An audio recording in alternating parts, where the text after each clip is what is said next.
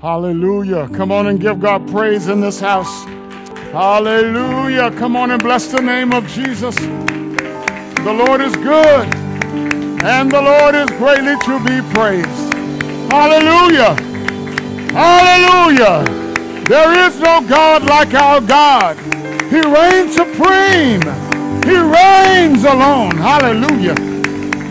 Hallelujah. Glory to the name of Jesus. We greet you today in the name of our Savior and our Lord Jesus Christ, and we thank God for this opportunity to be in the house of worship this morning. Thank the Lord for all of you who've, who've uh, joined us uh, via social media.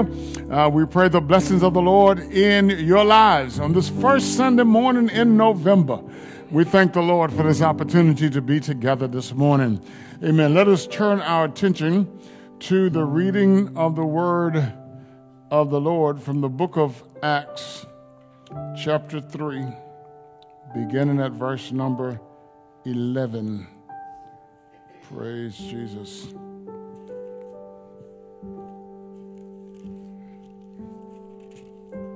Now, as the lame man who was healed held on to Peter and John at the all the people ran together to them in the porch which is called Solomon's greatly amazed. So when Pe- Peter saw it, he responded to the people Men of Israel, why do you marvel at this? Or why look so intently at us as though by our own power or godliness we had made this man walk? The God of Abraham, Isaac, and Jacob, the God of our fathers, glorified his servant Jesus whom you delivered up and denied in the presence of Pilate when he was determined to let him go.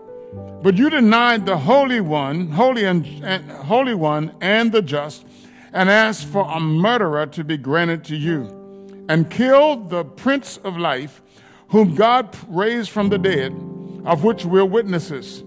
And his name, through faith in his name, has made this man strong whom you see and know.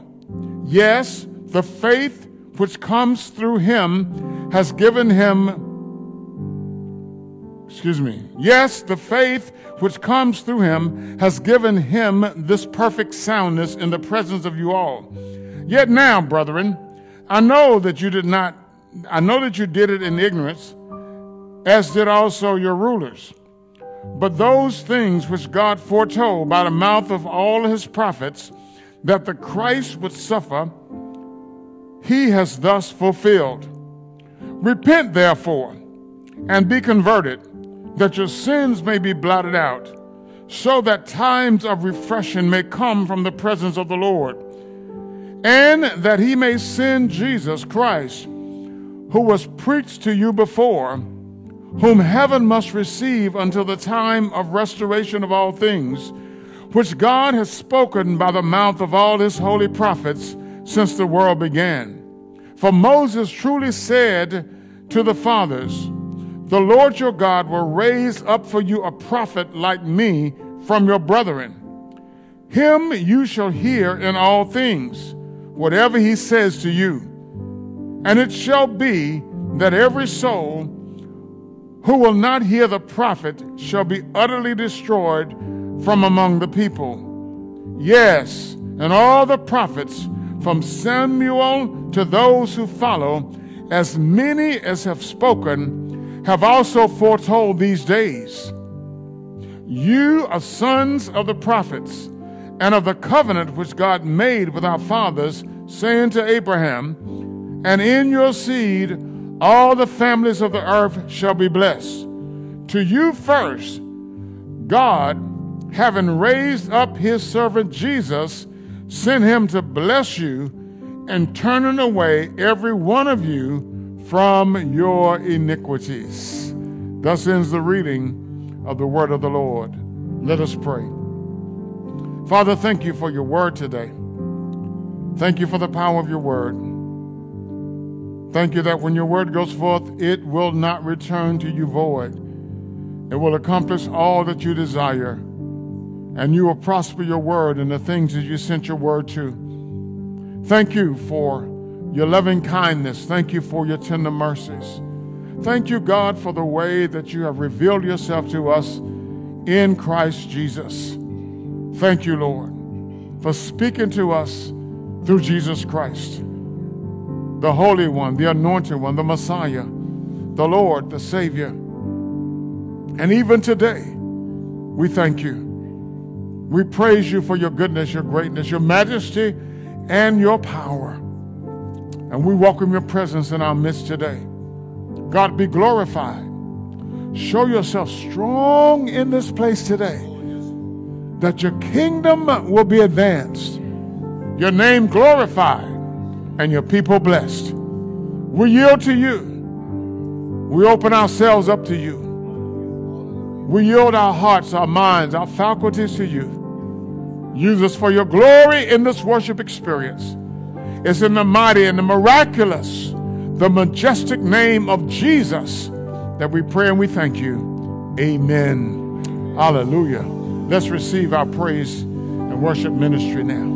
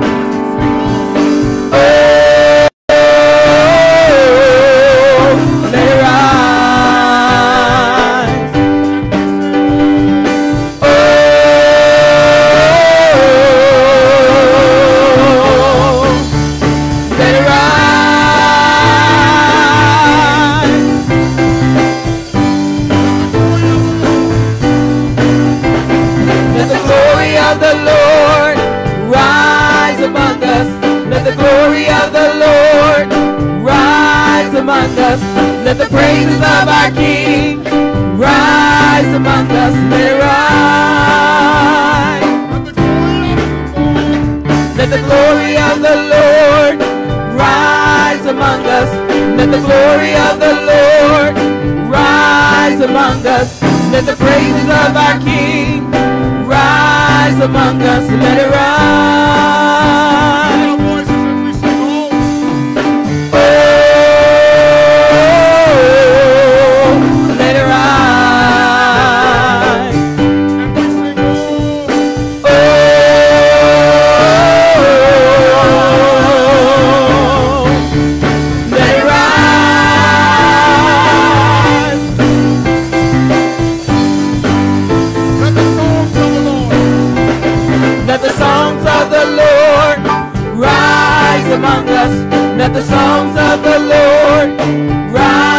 among us. Let the praises of our King rise among us. Let it rise.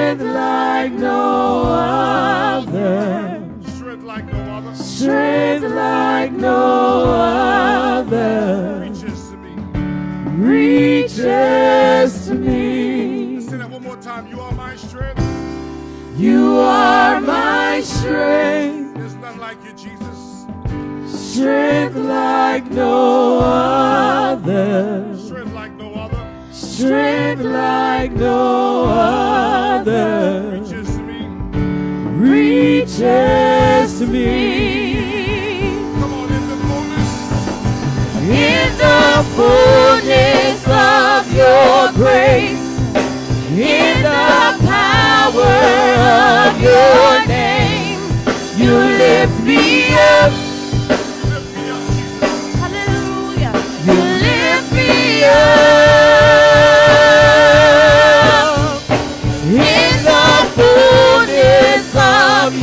Grace, in the power of your name. You lift me up. You lift me up in the fullness of your grace, in the power of your name. You lift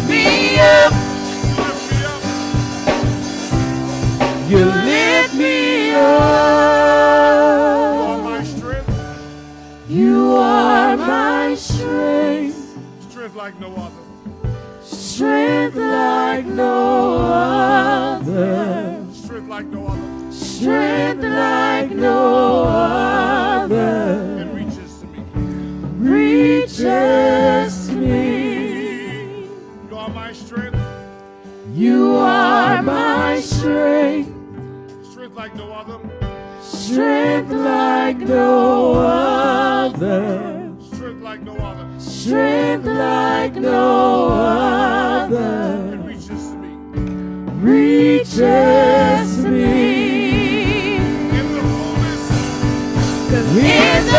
fullness of your grace, in the power of your name, you lift me up. You lift me up. In the fullness of your grace, in the power you lift me up. You lift me up. All over the sanctuary. You are. You are my strength, Strength like no other. strength like no other, Strength like no other. strength like no other. Reaches to me. reaches You are my strength, Strength like no other. strength like no other, Strength like no other. strength like no other. Reaches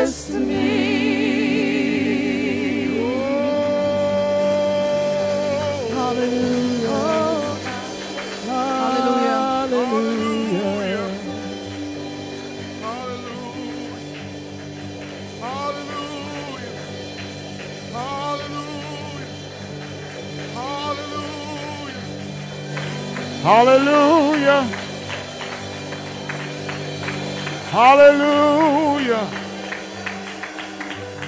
Hallelujah. Hallelujah. Glory, glory, glory, glory, glory, glory. Thank you, Lord Jesus. Hallelujah. Hallelujah. Hallelujah. Praise the name of Jesus. Hallelujah. We bless the name of Jesus. Thank God for this day. Thank God for Him being our strength. Strength like no other. Yes. Praise the name of Jesus. That strength reaches me and you today. Thank you, Lord Jesus.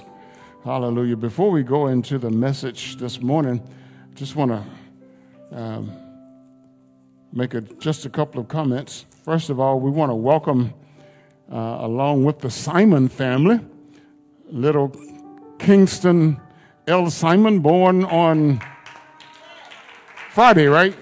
Yeah. Pray. Come on, give the Lord a hand clap of praise. Amen. Just welcome him into our, our family this, uh, as we gather as a corporate body today. And very exciting event coming up this weekend. Amen. Yeah, come on. The wedding ceremony of Brother Jonathan McFadden and Sister Yvonne Pringle. Hallelujah. The Lord is good. Amen. And greatly to be praised. Hallelujah. We're excited. Amen. We, we rejoice with Jonathan and Yvonne and their families. Praise the Lord. Amen. And, and lastly, I know that I, I, I said this to our board of directors. I don't know if I said this to the congregation, but if I did, I think it's worth reiterating at this time. When we talked about gathering and we talked about putting protocols and things in place, uh, one of the things that we said was we want people to feel comfortable coming. And if people don't feel comfortable coming to worship, that's fine.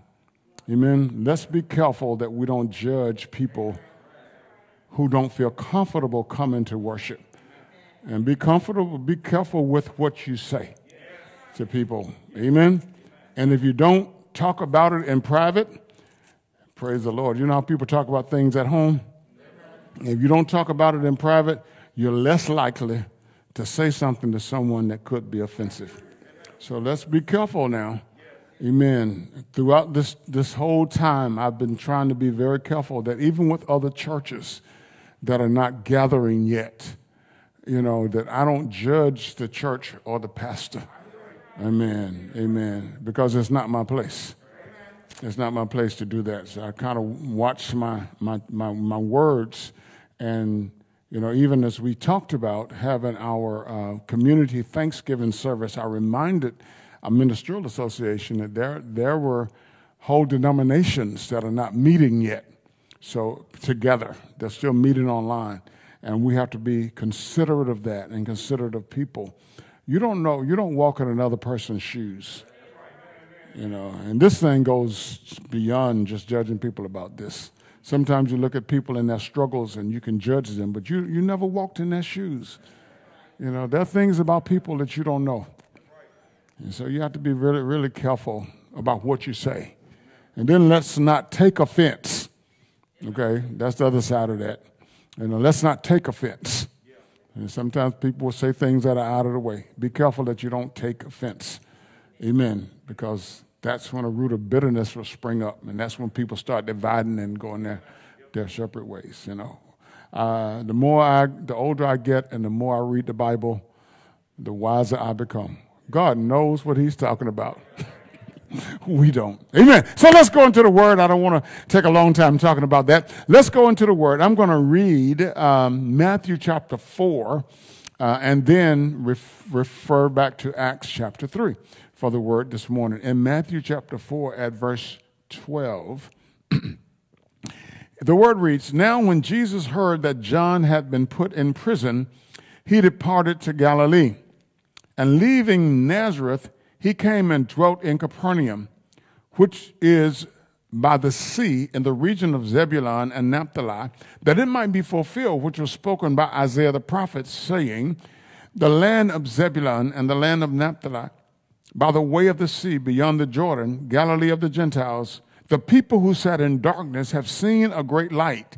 And upon those who sat in the region and region and shadow of death, light has dawned.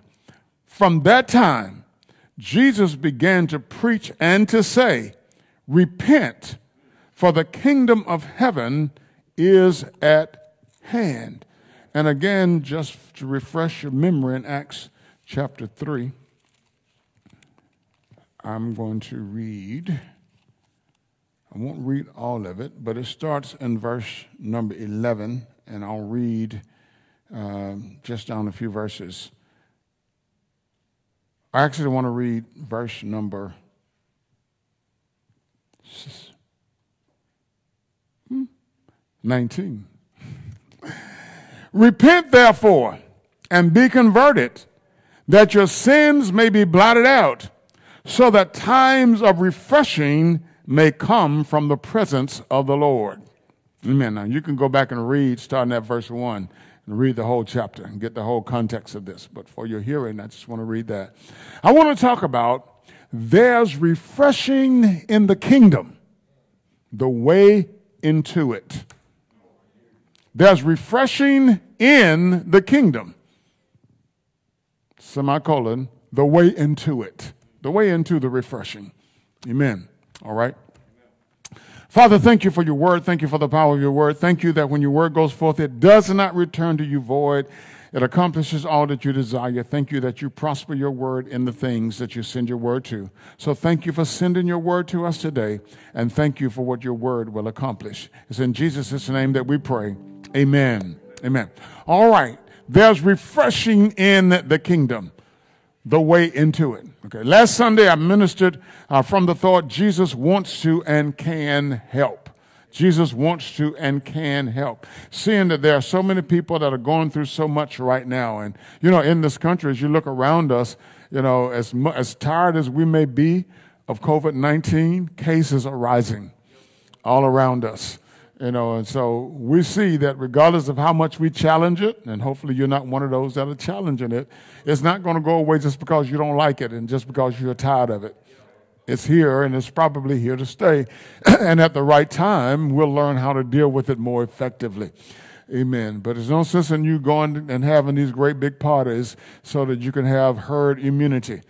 Even saints, be careful on Thanksgiving.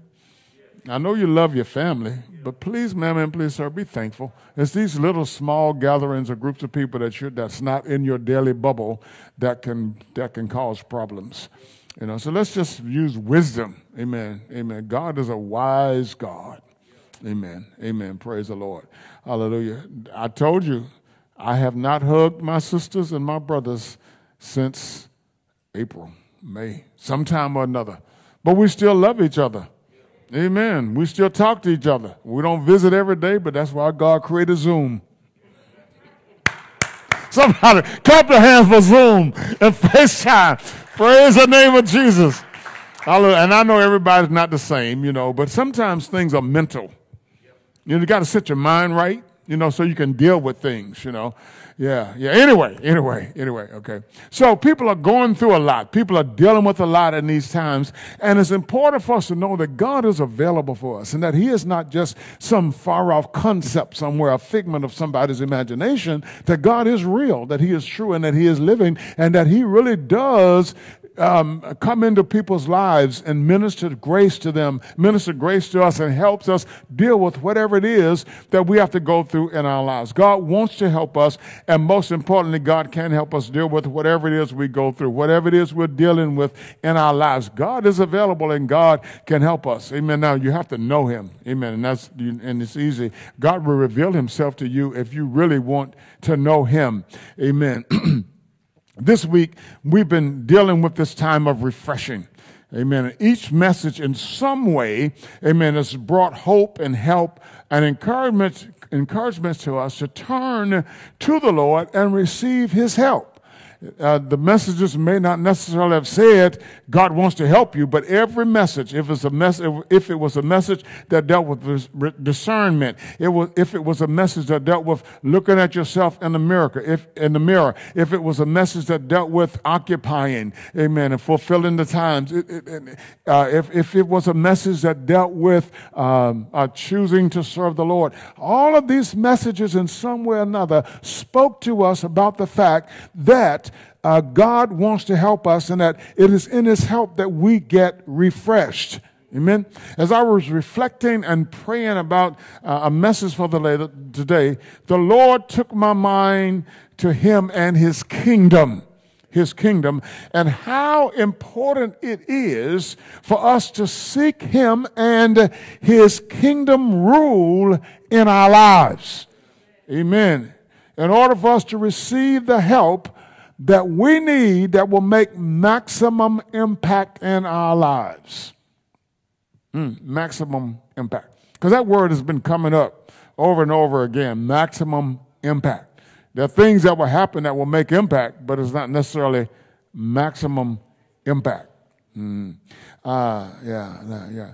Um, And speaking of that, it is the lack of those deepest, most important needs being met in our lives that brings about feelings of depression, feelings of anxiety, frustration, helplessness, hopelessness, and all of the things that's in that gamut that makes people feel like, that make people feel like, you know, that their lives are not fulfilled, that they're lost, they're out of touch, or what have you. This is the reason that we need refreshing. The kind of refreshing that only comes from the Lord. Man, and when we begin to really study the scriptures and really understand the scriptures and really grow in the Lord, we begin to see things from a different perspective and not in bits and pieces. We begin to connect the dots.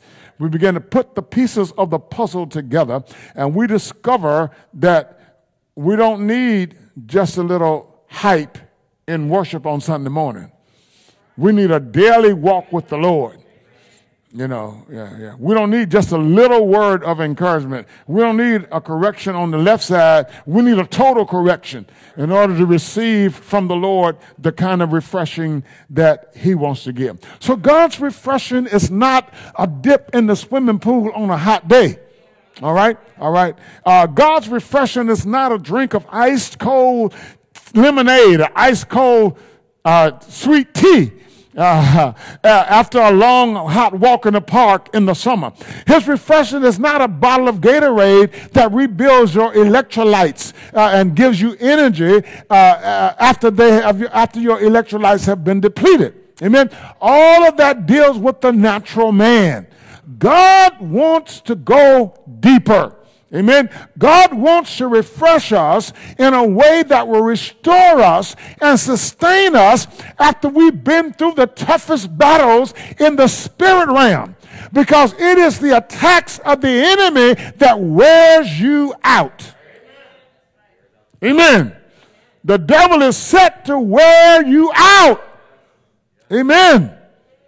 That's what he's doing. That's why he keeps on coming at you. That's why he, hits you on the right side and on the left side. And when you think things are well, here he comes again with something different. Amen. Because he knows for the saints, he just can't pull you away. But if he can wear you out, and that, that's what happens to a lot of saints. They get worn out. And as you hear people say, I can't take this anymore because the devil has been wearing you out. You know, I don't know how I can go through this much longer. Loved ones die, and you hear saints say, I don't know how I can live. Hmm? You don't know? How you been living all this time? How you been making it all this time? It's been by God's grace and God's strength. So, regardless of what's not in your life, as long as God is there, as long as God is present in the person and power of His Spirit, you're going to make it. Do y'all agree? I mean, it's not just it's not just a phrase. It's not just something that people are just saying. I mean, there are people who've proven in their lives that they make it by God's grace. I've learned when people ask me on Facebook, how you doing? I said, I'm doing fine by God's grace. I'm not doing fine because I'm, I'm, I, I got a good report from my doctor. It's by God's grace. I'm not good. I'm not doing fine because I, I, I have an education, you know, and, and I got a good mind. It's by God's grace. Amen. Are you understanding me? Yeah, yeah. So God wants to give us what we need. God wants to be there for us and help us after in the midst of us uh, uh, the, the onslaught of the enemy trying to wear us out. He wants to reach us in those deep places. And, and as I was reflecting on the time of refreshing this week, my mind went to the scripture in Acts chapter 3, because that's been on my mind for about three or four weeks. And as I mulled over that scripture, uh, I, I kept hearing, repent and be converted. That's in the King James. Repent and be converted. Then the Holy Spirit reminded me of Acts of Matthew chapter 4, verse 17. From that time, meaning after John had been put in prison, from that time, Jesus began to preach and say, Repent, for the kingdom of heaven is at hand. Jesus is at the beginning of his of his of his public ministry began preaching, repent, for the kingdom of heaven is at hand. In the book of Acts, after the birth of the church, and as as, as Peter and John are going up to the temple at the hour of prayer, and this man is healed. And they have an opportunity when the Lord show, gives them this opportunity to, to preach to the people. The, as they explain what is taking place, they say, Repent and be converted. Whoo. Mm. Mm. Repent. Everybody say, Repent. Be converted. Ooh, yeah, yeah, yeah. At the beginning of Jesus' public ministry, he began to say, Repent, for the kingdom of heaven is at hand. The words at hand means the kingdom of heaven has come. Jesus is saying, Because I am here now, the kingdom has come. Ooh. Ooh. Yeah. yeah. And then in Acts, well, let me back up before I jump into Acts. So then you go past chapter 4, and you begin to see that these people that Jesus is speaking to need refreshing. All right? So, so I won't go back and read it. So just read, start reading that chapter 5 and see what Jesus began to say. Blessed, well, I better go, go and read it. That's the best thing. And seeing the multitude, he opened his mouth and taught them, saying, Blessed are the poor in spirit. Theirs is the kingdom of heaven. Blessed are those who mourn, for they shall be comforted. Blessed are the meek, for they shall inherit the earth. Blessed are those who hunger and thirst for righteousness, for they shall be filled. Blessed are the merciful, for they shall obtain mercy. Blessed are the pure in heart, for they shall see God. Blessed are the peacemakers, for they shall be called the people of sons of God. Blessed are those who are persecuted for righteousness' sake, for theirs is the kingdom of heaven. Blessed are you when they revile you and persecute you and say all kinds of evil against you falsely for not my name's sake. Rejoice and be exceedingly glad for great is your reward in heaven, for so persecuted they the prophets. Yeah, yeah, yeah. So you can hear in these words, and you can hear as you pay attention to the ministry of Jesus, all right? He focuses on people who need refreshing at the deepest levels. It's not the sick, he says, who need the doctor. It's not the well, excuse me, it is not the well who need the doctor, it's the sick. Yeah. He was opening a way into everlasting hope and help for those who would come to him in faith. I can help you. I can help. His message, his way, and this is key. All right, this is key because because when you look at Jesus, it's not just looking at the person Jesus. You're looking at his message. You're looking at his way. You're looking at his principles. You're looking at his perspective. Those would, would bring refreshing that would alter people's lives completely. So you can't just accept Jesus without accepting his ways. Whew. You can't just accept Jesus without accepting his principles his teachings. It's an oxymoron. You're a follower of Jesus and you don't do anything he says? What did he say? He said, If you love me, you keep my commandments.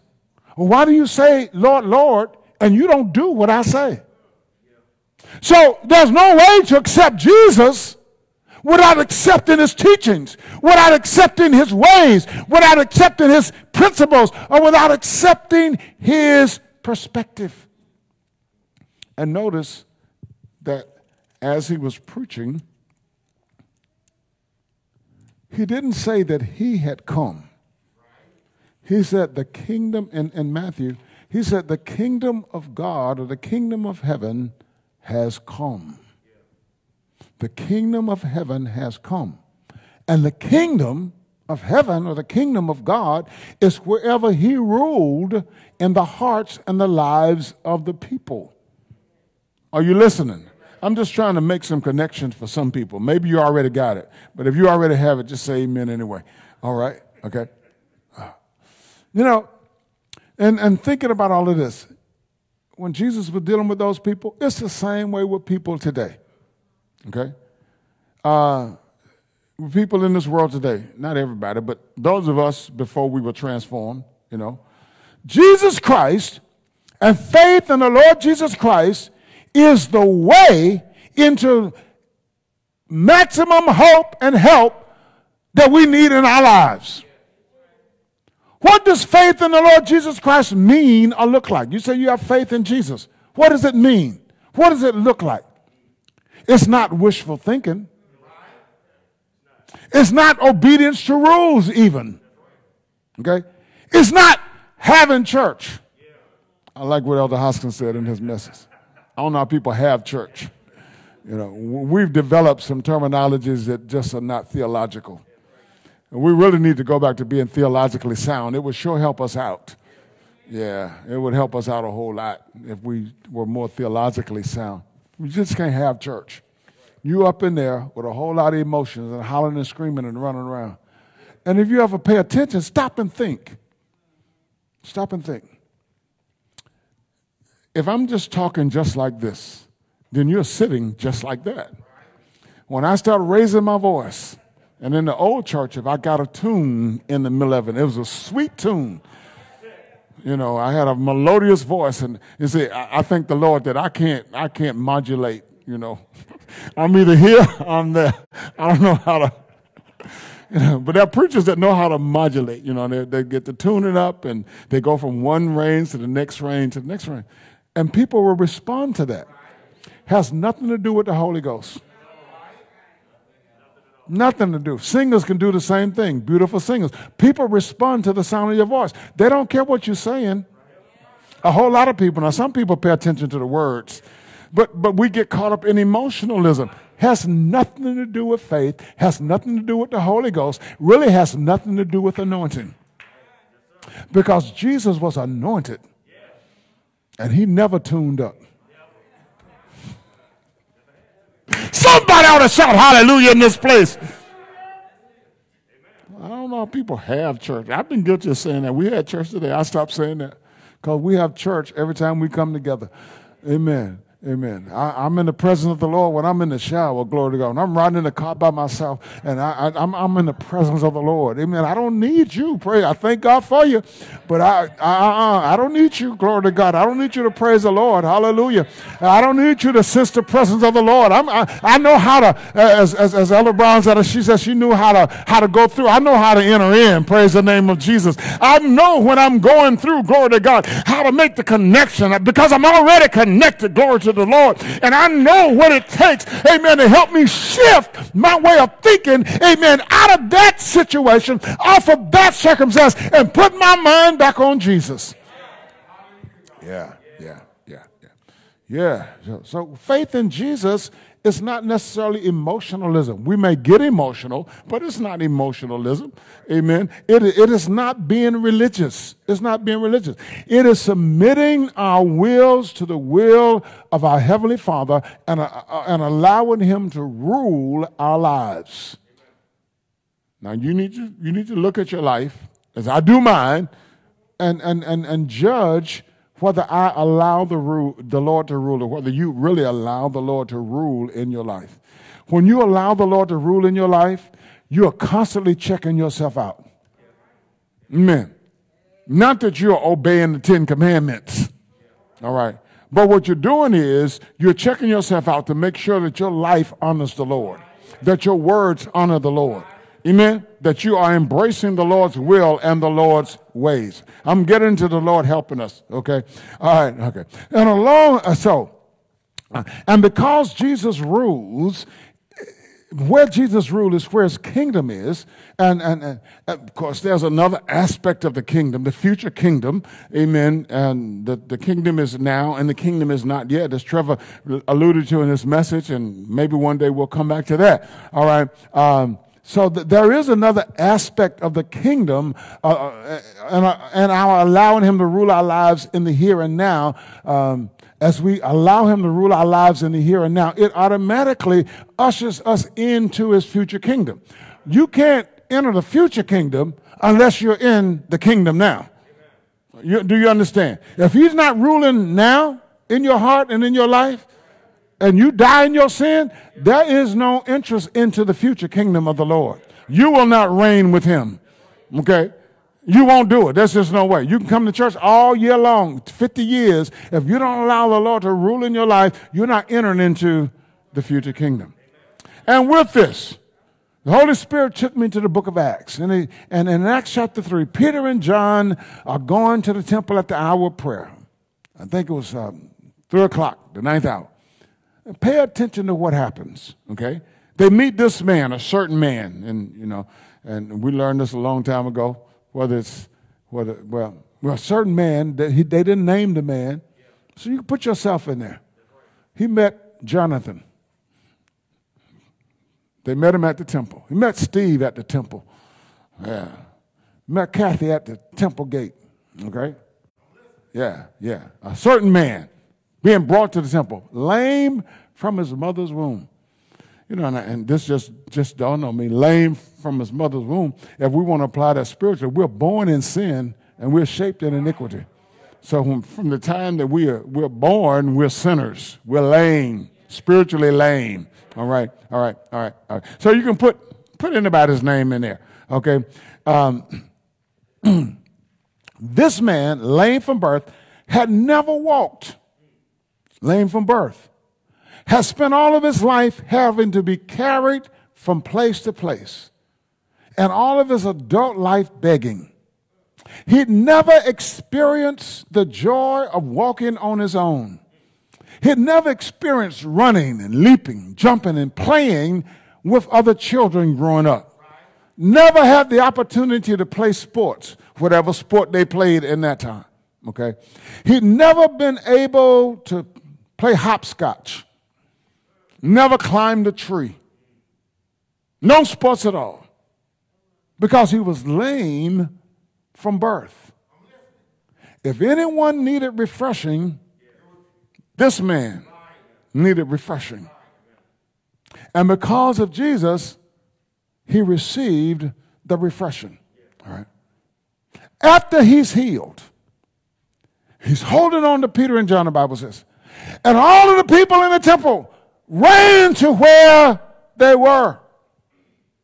And Peter seized the opportunity. Pay attention. I'm not talking about right now. Pay attention when you're at Walmart. Pay attention when you're on your job.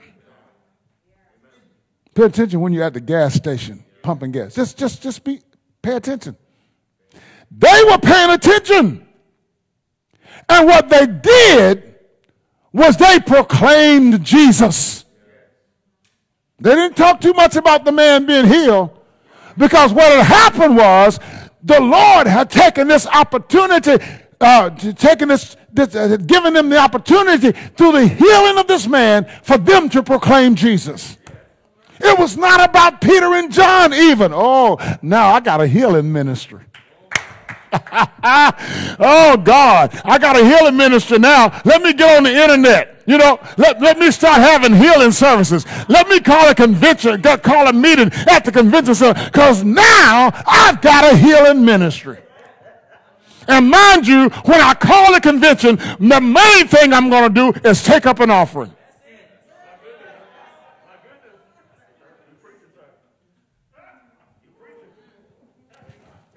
These people running behind these prophets and after these prophets and, and, and, and, and, and some of these people that call themselves apostles, and you got to look at what they're after. Many times they're not they're not glorifying Jesus. Jesus might be an afterthought because if I, I got to say something about Jesus in order for me to be lifted up. I got to bring Jesus in. If I don't bring Jesus in, folk going to realize that I'm a sham. Ah, everybody's not a sham, but God gives you wisdom and discernment. Isn't it discernment?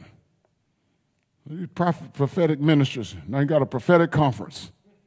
Going to run to a prophetic conference, pay your good hard earned money to buy an airplane ticket or gas in your car to go to a prophetic conference. For what? The Word of God is prophetic. Study your Bible. Be filled with the Holy Ghost. The Spirit of God will speak to you.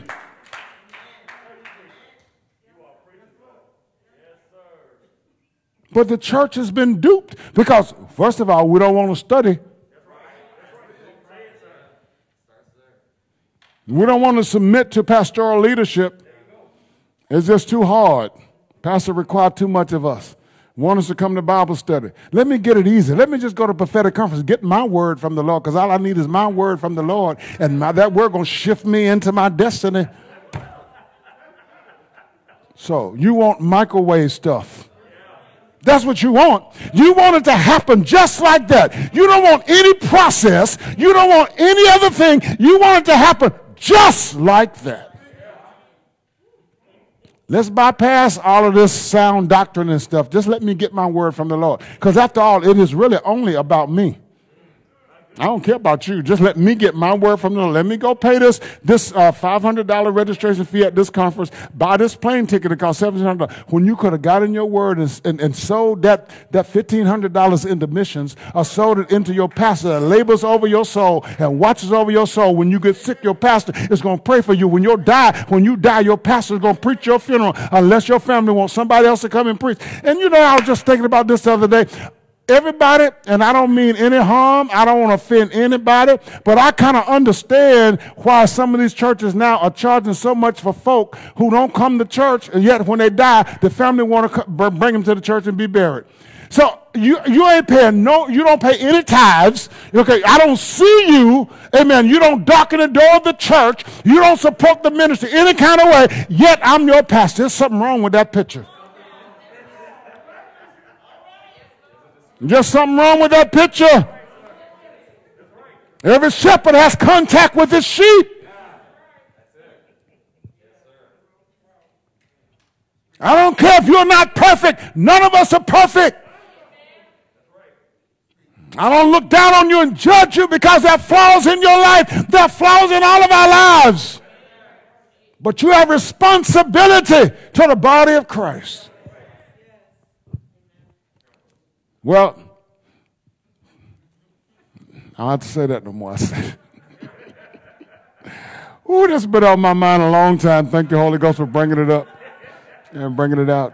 I mean, I love people, but but but but you know, you, you gotta you gotta you gotta show some support. I, and it's more than just during this pandemic time. In good times, you don't come. I hope you watch it on Facebook today. Go back and watch this in good times, you know, and it's not just me, it's every pastor because this happens across the board. In good times, when things are going well in your life, you don't come. You don't call the pastor up. You don't say, Pastor, how you doing? You get sick and you get mad because the pastor didn't call you. I forgot your number.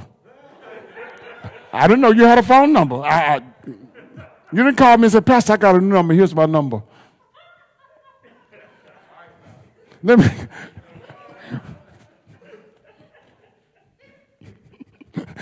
you better sing trouble in my way. I got to cry sometimes. Jesus will fix it because your pastor can't fix it. Lord help me. Where am I in this message?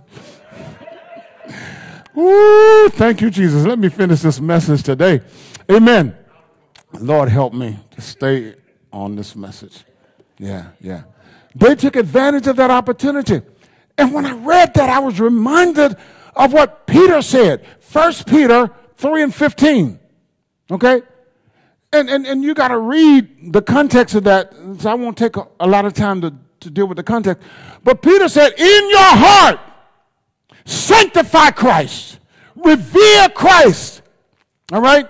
A reverence Christ as Lord, and always be prepared to give an answer to everyone who asks, to give the reason for the hope that lies within you. So they were ready. When they got to that, when, when, when the Lord presented that opportunity to them, they were ready. because they revered Christ in their hearts. We can't be in and out of Jesus or in and out of Christ and say we're revering him in our hearts. What if an opportunity present, just present itself to you when you're out of Christ? You can't be up and down in your faith. All right? While you're down, an opportunity may present itself to you.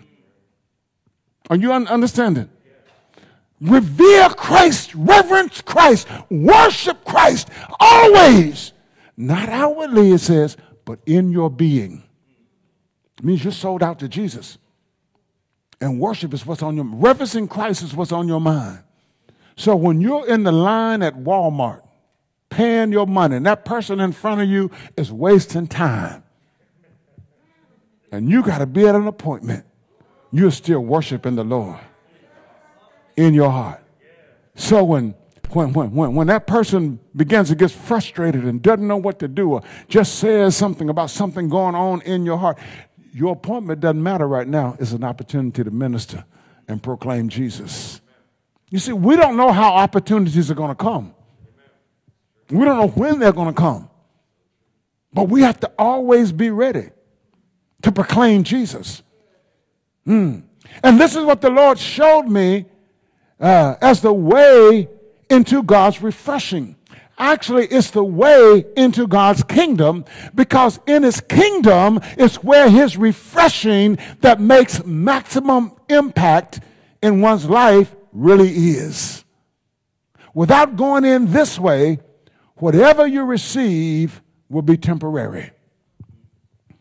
So here's what the Lord wanted us to, uh, so here the Lord wants us to note Peter's message to the people. And uh, so we're going to start at verse 13. I'm not going to read it all. Let me just not read it because I'm way over time. Okay? No, I'm not. Praise God. You listen to this as long as I preach. Amen. the way into God's refreshing hallelujah, or the refreshing that God has for his people that will make maximum impact in their lives is through Jesus Christ. So what happened when Peter was preaching, he began to show them how they had rejected Jesus, the promised Messiah, the only way to God, the only way into God's kingdom. He showed them how through Abraham and the prophets, Jesus had been prophesied. But they had rejected Jesus. They had crucified Jesus. They were separated from God, even though uh, they didn't realize it. They had rejected the one that God had sent to be the propitiation for their sins. They had rejected the one who God had sent to give them abundant life. They had rejected the one that God had given them that could satisfy every one of their needs. They had crucified the Lord of glory because he did not line up with what they expected in a Messiah. Oh, but isn't that what happens to people today? Think about it. People reject Jesus because he doesn't line up with their way of thinking. His way is different from that of the world. So they reject Jesus. I don't want Jesus because if I have Jesus, if I really have Jesus, there are places I can't go. There are things I can't do. Ooh. They reject Jesus because his standards are different from the standards of the world. They reject Jesus because he doesn't fit with what people want to do in their lives or with their lives. They reject him. Consequently, Jesus becomes to these people a stumbling block, a rock of offense. He becomes that point of contention between their way and God's way, and they reject him. Remember, the scripture says that Jesus would become a rock of offense, that Jesus would become a stone of stumbling for a lot of people. And that's what we see happening in the world today. They reject Jesus and they say, Give us Barabbas. Give me the world. Give me the party life. Give me what I want in my life. This is my life. I want to live it my way. So give me my life. Jesus, I don't want you. Your standard is, is too strict. Hmm. Let me tell you something. No Jesus, no God. N-O, not K-N-O-W. When you reject Jesus, who's God who came in the flesh to reveal God to us, you've rejected God. You can't have God without having Jesus. So Peter says, repent. That, that word repent there focuses on changing your mind, changing one's attitude. This attitude that you've had toward Jesus, change it. Repent. Repent. People talk, I'm, I'm turning from my sins and turn 360 degrees. Y'all got it? I am right back where I started from. Changing your attitude. Where is your attitude? In your mind. The way you think. Change your mind about Jesus. Change the way you have been thinking about Jesus, who is the way into the kingdom. If Jesus does not rule in your heart, you are not in the kingdom. Remember the admonition in Peter? Sanctify the Lord Jesus in your heart. Revere the Lord Jesus in your heart. That's where it starts at. Christ. Understanding who is, accepting Him, worshiping Him. Worshiping Christ is not coming in the sanctuary. You can come in the sanctuary and lift up holy hands. You can sing and you can dance, and you've never worshiped the Lord. It's where your heart is. You went through the motions. You might have praised him. That's why I always say there's a difference in praise and worship. Anybody can praise the Lord. The rocks can praise him. But it takes worship. It takes a heart relationship to really worship the Lord. I haven't lost you, have I? All right? Peter, Romans 12 and 2. Do not be conformed to this world, but be transformed by the by the renewing of your mind that you may prove or that you may discern or that you may discover that good and acceptable and perfect will of God. If I want to be refreshed by God, I've got to change my mind. Got to do it. I can't have Christ in the world. You remember the experience on, up, on, up, on, up on the Mount of Transfiguration? And what, what, what Peter, James, and John saw that, Peter, yeah, and on the mountain transfiguration, they saw Moses and Elijah, and they said, let's build a, a tabernacle here. Let's stay. No, no, Jesus no, no, no, no. There are needs in the valley. But when the vision was, was, was finished, they saw Jesus only. Only Jesus. They didn't see Moses. They didn't see anybody else. So only Jesus. Only Jesus. We got to go back to Jesus. I can't have Jesus and the world. I don't care what my personal inclinations are. I got to bring my life in submission to the will of the Lord. That's Jesus ruling. That's all. That's Jesus ruling. And people can't get that for some reason. Or people don't want that, so they reject Jesus. Whew. Repent and be converted. I'm almost done. Whew. It kind of like those two kind of go hand in hand. But, but what, what, what, what, what, what Peter is saying is repent and turn to God. Now, these people thought they were already following God. Just like a lot of people come to church, think they're already following God. A lot of people in this world think they're already following God, but they rejected Jesus. They rejected the anointed one. They rejected the sent one. And Jesus said, There's no other way to the Father except through me. I am the way. There's no other name given among men whereby we must be saved. You can't reject Jesus and, and, and, and have God. Repent and be converted. I thought about conversions. And daily, when I, well, not daily, at least weekly, when I'm talking to someone in Africa, excuse me, unless they're using US dollars. And most of the time, most countries are not using US dollars, and they tell me what something will cost. Uh, and they give it to me in their currency. I have to go to the internet and I have to pull up a currency converter. I have to change it from their, their, their currency. Or even if they are speaking in French, I have to go to a translator and change it from their language to English, or change it from the, say, the pesos, uh, the Latin American pesos to U.S. dollars, or the Kenya shilling to U.S. dollars, or the, or the, or the, or the West African francs to U.S. dollars, so that I understand it. Conversion. Change it from the way you normally think.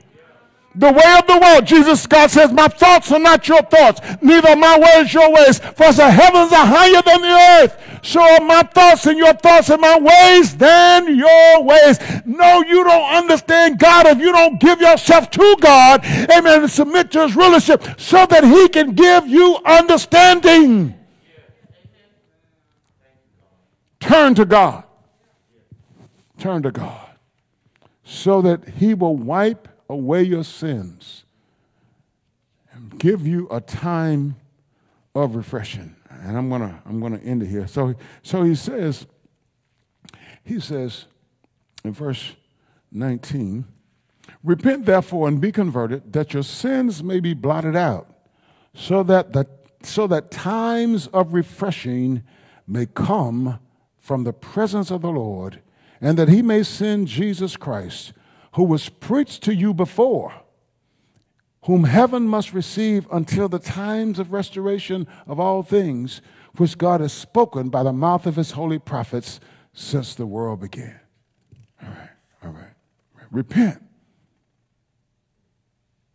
Be converted, that your sins may be blotted out, so that your sins might be wiped away.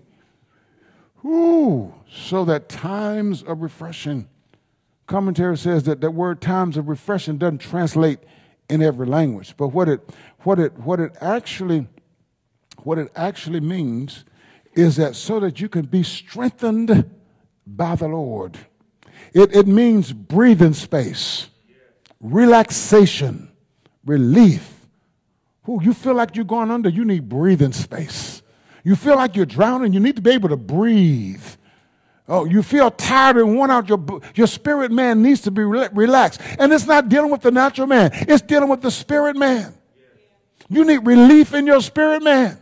So, so when you repent and you turn to the Lord, really turn to God through faith in Jesus, the Lord gives you breathing space. The Lord gives you relaxation in your spirit, man. The Lord gives you relief, amen, in your spirit, man. Even though the attacks are going on, even though trouble is around on every hand, the peace of God that passes all understanding keeps your heart and your mind to Christ Jesus our Lord.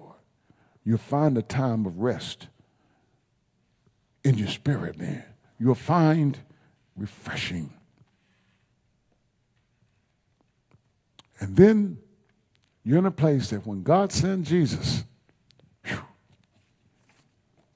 you'll be ready to go back with him and to live with him eternally in that day. So the, the, the way into God's refreshing is in his kingdom.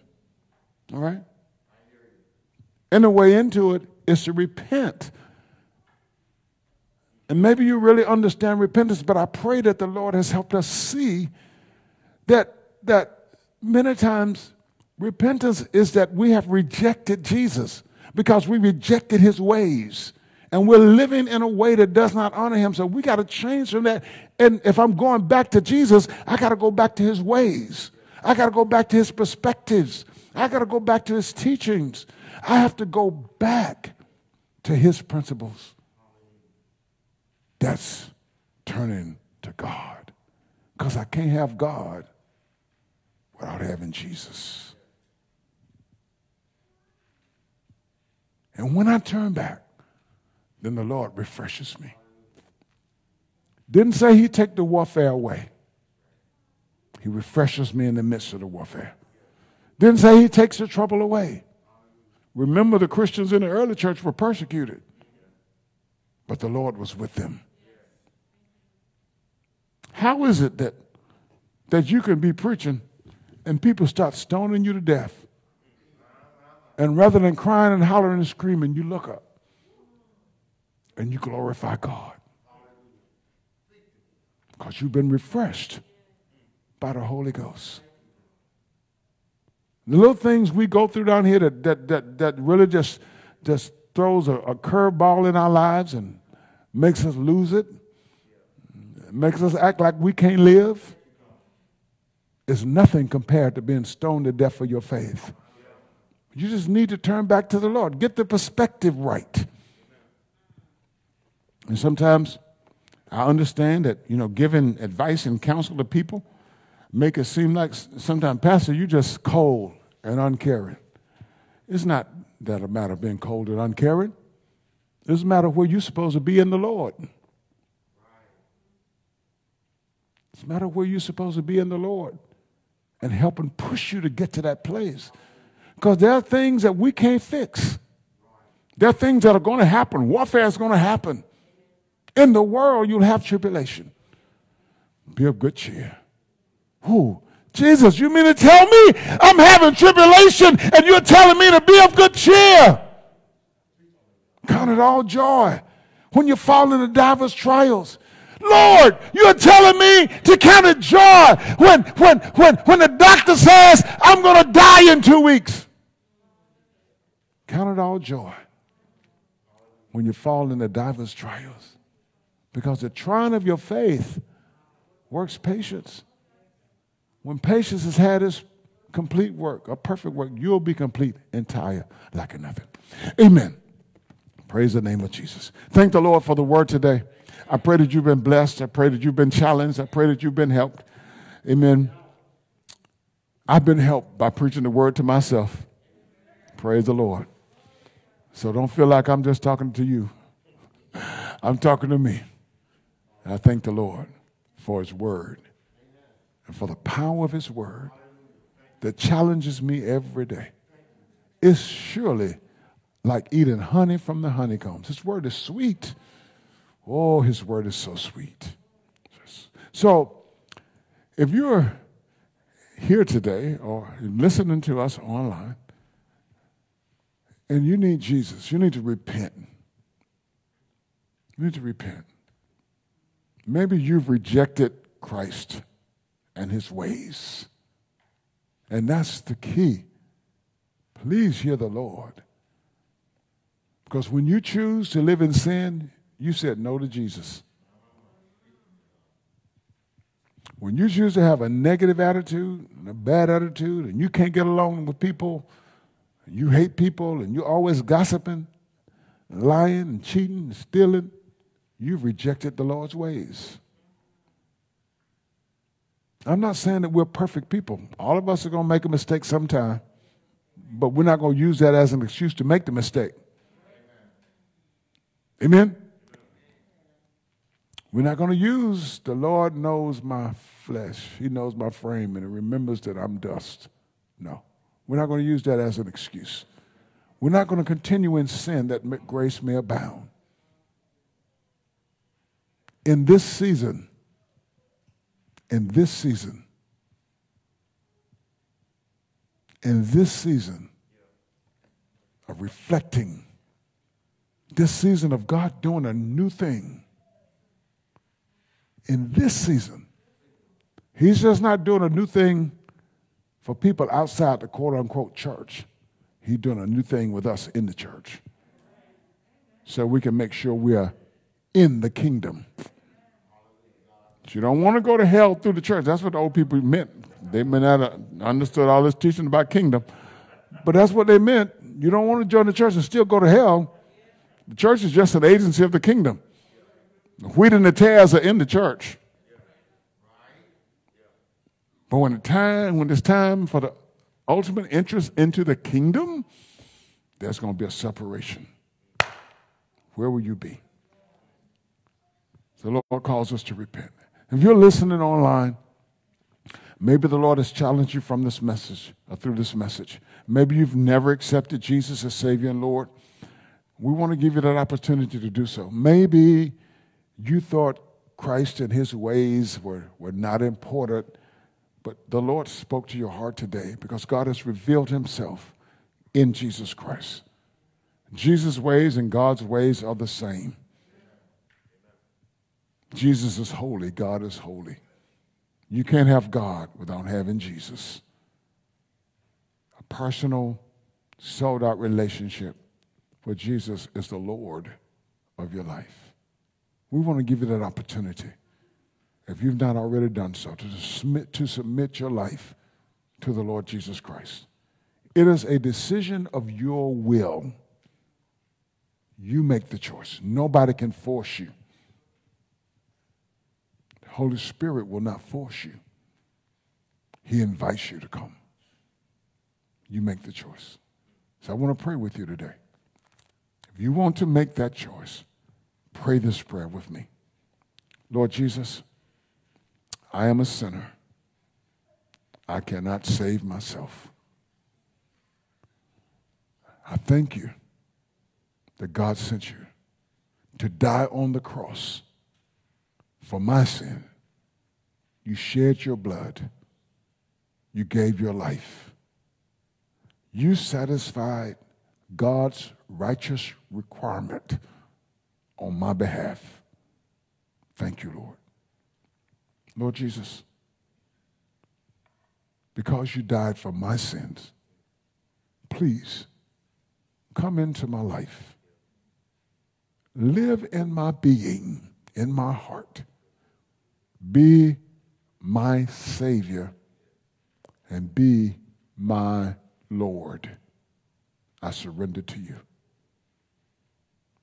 And I thank you that you're hearing my prayer as I pray now.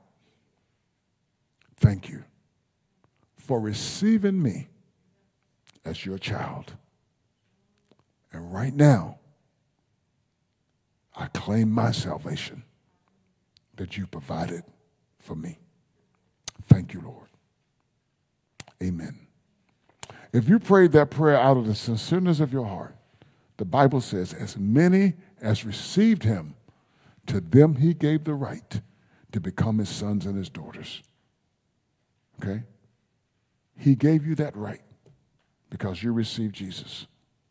That means that you're saved. Now, you need to take another step because you don't want to just be out there wandering around. The devil will come and snatch you away. You need to be connected to a group of Bible believing Christians.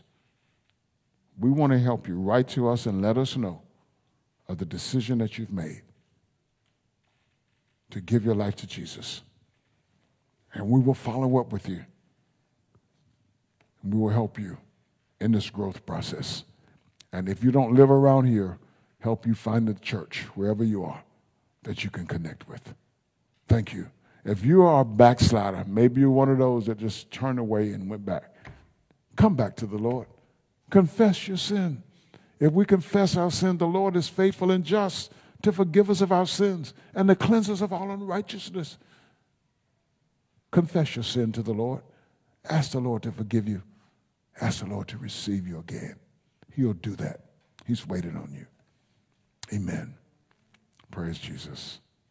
So, for those of us in the sanctuary, for those of us who are believers, for those of us who are striving to live for God, let me just pray a prayer of faith with you, touch and agree with you. Father, I thank you for every believer in this house, every believer on this line. I thank you, God, that you know all things. There's nothing hidden from your eyes. Thank you that you love us enough to challenge us in our walk with you. Father, whatever the needs are in this house today, whatever the needs are for those who are listening online, I pray in the name of Jesus that you'll meet the need, supply their need according to your riches in glory by Christ Jesus. God, we look to you. I present and I intercede for every believer right now. God, in the name of Jesus, in the name of Jesus, have your way in our lives. Strengthen us, refresh us, rebuild us, restore us, make us fit to claim your name and proclaim your message. Help us, Lord that we'll be sensitive to you and always available when you present opportunities to us to proclaim your gospel. It's in Jesus' name that we pray. Amen. Hallelujah. Amen. Amen. We're going to take time right now and join together and commune together in Holy Communion. If you don't have your communion, it's on the table outside. We want to give you that opportunity to do so.